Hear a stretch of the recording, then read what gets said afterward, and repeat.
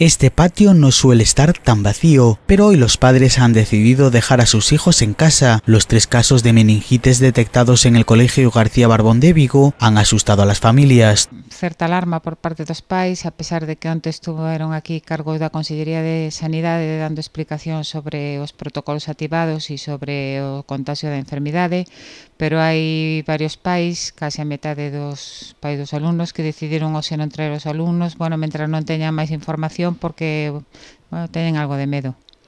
Ao producirse tres casos, pois, bueno, están un pouco alarmados e, bueno, esperando un pouco que pasen os días a ver se se produce algún outro contagio antes de decidirse a, Si no aparecen nuevos casos de meningitis durante el periodo de incubación, el próximo martes se cerrará esta crisis que mantiene en vilo a toda la comunidad escolar y también a médicos y políticos. Ante a Consellería de Sanidade deu todo tipo de explicacións, mm, me encanto ao cale de agradecer porque había certa, bueno, certo malestar entre os pais pola falta de información durante o fin de semana, pero que hai que ter en conta que ao producirse o terceiro caso en fin de semana, pois foi un pouco complicado.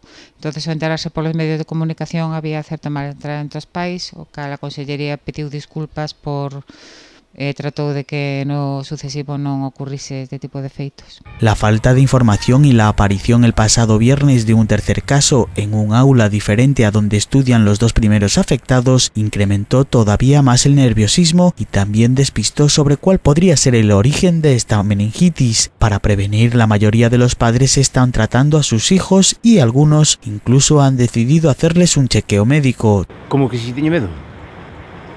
Eh, medo que teño que ahora mesmo precisamente vou levar a rapaza ao que o médico, sabes? Non é eh, medo, sabes? Eh, e teño un pouco de prisa, si non te importa De los tres menores hospitalizados, uno de ellos permanece en la unidad de cuidados intensivos del Seral de Vigo y los otros dos están en planta, aunque todos evolucionan favorablemente. Los resultados de los cultivos confirmarán si se trata de meningitis bacteriana o no. Los análisis estarán listos en los próximos días.